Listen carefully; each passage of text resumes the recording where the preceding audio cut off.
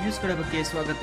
ಇಂದಿನ ಮುಖ್ಯಾಂಶಗಳು ಬಂಟ್ವಾಳ ತಾಲೂಕಿನ ತಲಪಾಡಿ ಸಮೀಪದ ನೇತ್ರಾವತಿ ನದಿಯಲ್ಲಿ ಅಪರಿಚಿತ ಗಂಡಸಿನ ಮೃತದೇಹವೊಂದು ಭಾನುವಾರದಂದು ಪತ್ತೆಯಾಗಿದ್ದು, ಸುಮಾರು ಮೂವತ್ತೈದು ವರ್ಷ ವಯಸ್ಸಾಗಿರಬಹುದೆಂದು ಅಂದಾಜಿಸಲಾಗಿದೆ.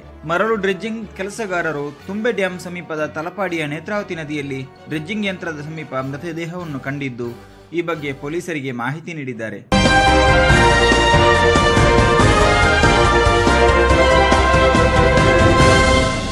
ಶನಿವಾರ ಸಂಜೆ ಸುರಿದ ಭಾರೀ ಗಾಳಿ ಮಳೆಗೆ ರಾಜ್ಯ ಹೆದ್ದಾರಿ ಎಪ್ಪತ್ತರ ಶಾಂತಿನಗರದಲ್ಲಿ ಬೃಹದಾಕಾರದ ಮರವೊಂದು ಚಲಿಸುತ್ತಿದ್ದ ಓಮ್ನಿ ಕಾರಿನ ಮೇಲೆ ಬಿದ್ದಿದೆ.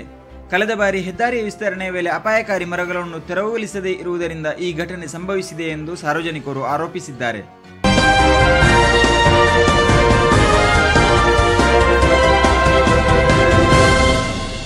ತಾಲೂಕಿನ ಕೋಡಿಂಬಾಲ ಗ್ರಾಮದ ವಿದ್ಯಾನಗರ ಸಮೀಪದ ಪಾದೆರೆ ಮುಂಡ್ರೊಟ್ಟು ರಸ್ತೆ ಅಭಿವೃದ್ಧಿಗೆ ಹತ್ತು ಲಕ್ಷ ರು ಹಾಗೂ ವಿದ್ಯಾನಗರ ಕುಂಡಿಲು ಕಲ್ಲಂತರ್ಕ ರಸ್ತೆ ಅಭಿವೃದ್ಧಿಗೆ ಹದಿನೈದು ಲಕ್ಷ ರು ವೆಚ್ಚದ ಕಾಂಕ್ರೀಟೀಕರಣ ಕಾಮಗಾರಿಗೆ ಸುಳ್ಯ ಶಾಸಕ ಎಸ್ ಅಂಗಾರ ಅವರು ಭಾನುವಾರದಂದು ಗುದ್ದಲಿ ಪೂಜೆ ನೆರವೇರಿಸಿದರು.